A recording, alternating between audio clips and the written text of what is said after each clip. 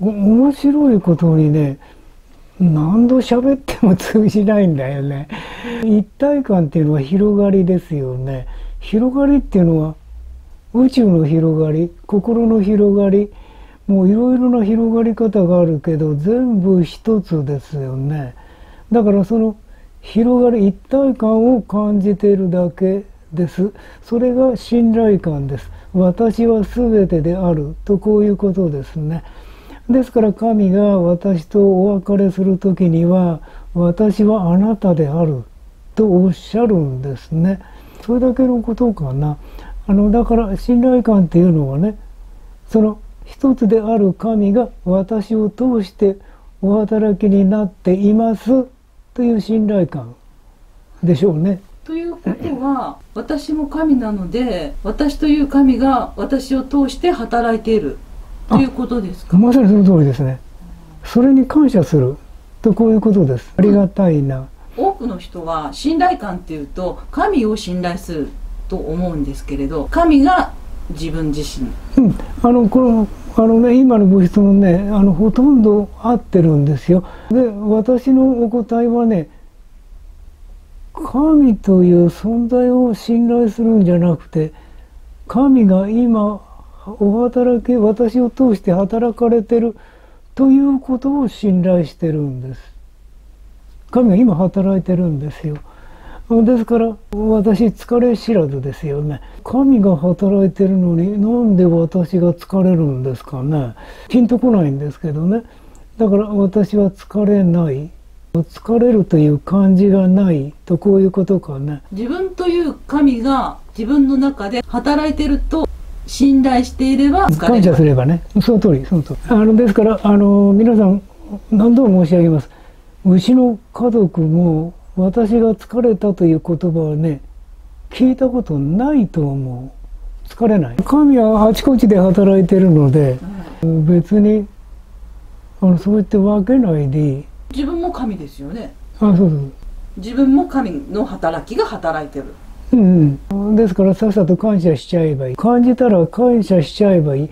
ただこれも今のご質問いただいたんでねあの言うんですけど肉体を持ってるということは肉体がなければ今神との一体感っていうのはねもうすぐ時間を超えて体験するんですけど肉体がある。三次元の世界に生きてる。というのはこれが面白いんですよね。一体感を感じても即座に私と神は別別物だという感覚も感じることができるんですよね。だからそれを楽しんでるんじゃないの。だから私も全てがうまくいくんじゃなくてうまくいかないこと怪我したり風邪ひいたりあ風邪ひかないけれど いろんなことするわけですよ。それって面白いね。神が今私を通してお働きになっている私にとってとっても大事なことだから。でそういう体験をさせていただいているとこういう感じですかね。あもう一言。今も私が説明上そういう感じを感じましたと言ってるんですが違和感があったらすぐ面白いね。で即座に直しちゃいます。だって面白いねっていうのは治療調律だから即座に直しちゃう。ただ直しちゃっても実際にそれを自分の体験にするのは時間と空間の狭間に肉体を持ってる私たちのこれを忍耐と言いますね忍耐になりますね神との接触はすぐ瞬時で終わるんだけどそれをこう体験するのは時間と空間の影響を受ける肉体持ってるからということですよね。神との一体感を感じるですけれどでも実は自分も神なのでもっと大きな神と一体感を感じるということなんでしょうか？もう今もいいご質問でしたね。大きなって言いましたね。神大きさも小さめでサイズがないんですよね。全てと言ってしまったらそれでね大きくもなるし小さくもなるしコロナウイルスの神様ですから念のためね神の働きなんでねそれをこう考えて神はこここれでこれでというあれをしないんですよ。感じる。神の働きを感じる。自分は神なのでここで神が働いてると感じればいいんでしょうか？そうです。